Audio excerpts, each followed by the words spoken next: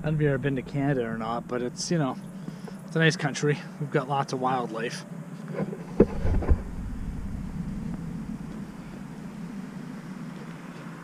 This is just another Canadian day. The Irish have sheep blocking their roads and we got geese.